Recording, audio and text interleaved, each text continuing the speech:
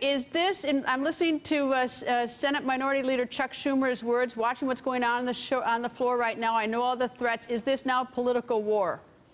Well, what this is, is a war about whether or not people are going to have health care. And I think if somebody in Michigan has cancer, they have a right to know what is in this bill and to give their opinion before it's voted on. Or uh, somebody whose mom has Alzheimer's and is going to lose her nursing home care as a result of what we think is coming. So this really, to me, it's personal. It's not political. Now, will we use political means in order to be able to try to stop this and have a different conversation. You know, let's have a conversation about lowering prescription drug prices, about lowering other costs. Are they this just, is the wrong conversation. All right. Is everything behind closed doors? Am I correct as I state is that the Democrats have no say in this bill that's going to be put on the Republican floor, whatever it turns out to be? Do you have that's no correct. say? You have absolutely zero, nothing. Correct. And I have to tell you, I am the lead Democrat on the Health Subcommittee.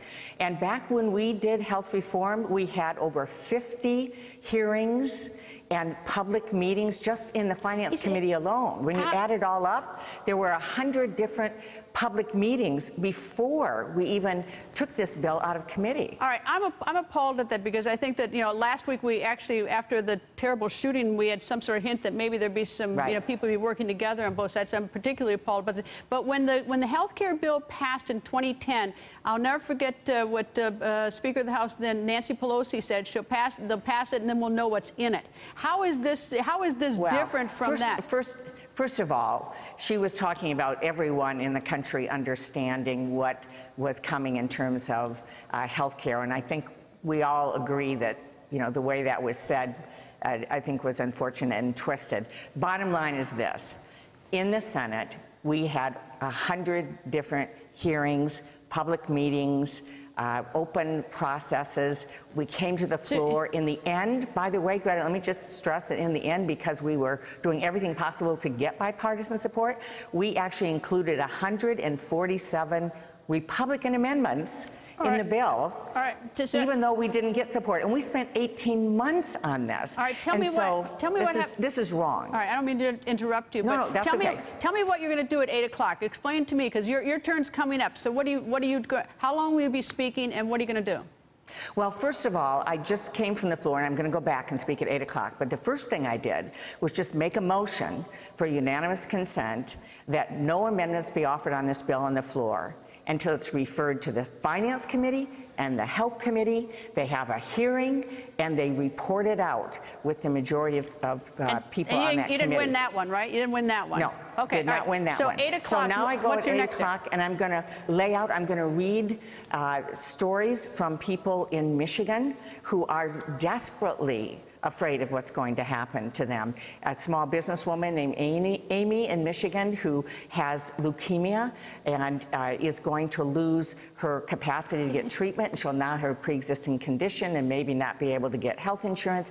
I mean, there's hundreds of when, people when you that read, I've heard from. When you read those probably. stories, I mean, what, I mean, when, you, when you're up there doing this and when you look around the Senate, are the, are the Democratic senators and Republican senators all there or who shows up?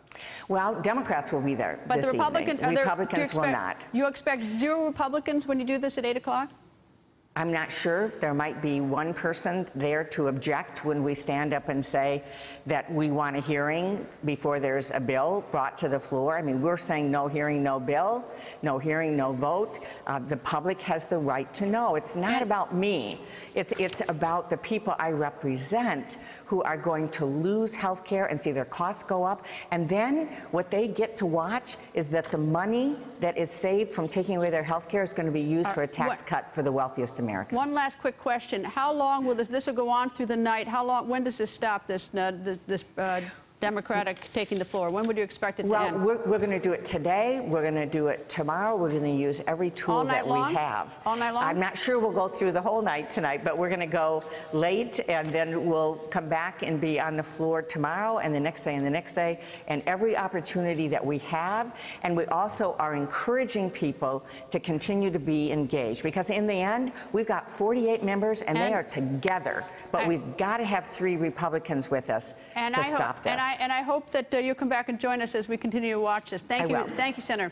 Hey there, I'm Chris Hayes from MSNBC. Thanks for watching MSNBC on YouTube. If you want to keep up to date with the videos we're putting out, you can click subscribe just below me or click over on this list to see lots of other great videos.